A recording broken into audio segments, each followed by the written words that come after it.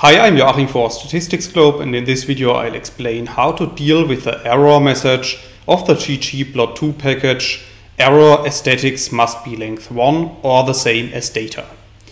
In the video I'm going to show you an example and this example is based on the data frame that we can load with lines 2 and 3 of the code. So if you run these lines of code you can see at the top right of RStudio that a new data frame object appears which is called data.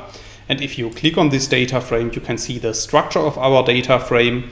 And as you can see, our data contains five rows and two columns, whereby the first column X is consisting of the values of our groups and the column Y is consisting of numeric values. Now let's assume that we want to draw these data using the ggplot2 package. Then we also need to install and load the ggplot2 package as you can see in lines 5 and 6 of the code. I have installed the package already, so for that reason I'm just going to load it with line 6 of the code. And after running this line of code, we are able to use the functions of the ggplot2 package, such as ggplot and geombar.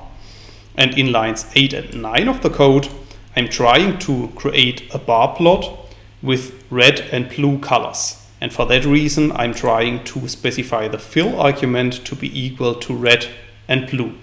However, if you run lines 8 and 9 of the code, you can see at the bottom in the RStudio console that the error message aesthetics must be either length 1 or the same as data is returned. And the reason for that is that the length of our color vector is equal to 2. However, our data contains five different groups. So in other words, we have specified less colors than we have groups in our data. And one simple solution for that is that we specify the fill argument simply to be equal to the grouping column. So in this case, our grouping column is the column X. And for that reason, I'm specifying the filling argument to be equal to X.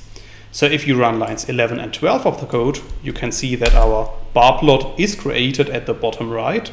And the error message aesthetics must be either length one or the same as data is not returned anymore. So in this video I have explained how to create a ggplot2 bar plot without getting the error message aesthetics must be either length 1 or the same as data. However, in case you want to learn more on this topic, you could check out my homepage, statisticsglobe.com, because on the homepage I have recently published a tutorial in which I'm explaining the content of this tutorial in some more detail, and I will put a link to the tutorial on my homepage into the description of this video, so you can check it out there. And furthermore, if you have liked this video, I would be very happy if you leave me some positive feedback in the comments. And make sure to subscribe to my YouTube channel to get notifications in future when I'm releasing new videos to the channel. That's it for this video. Thanks a lot. See you next time. Bye bye.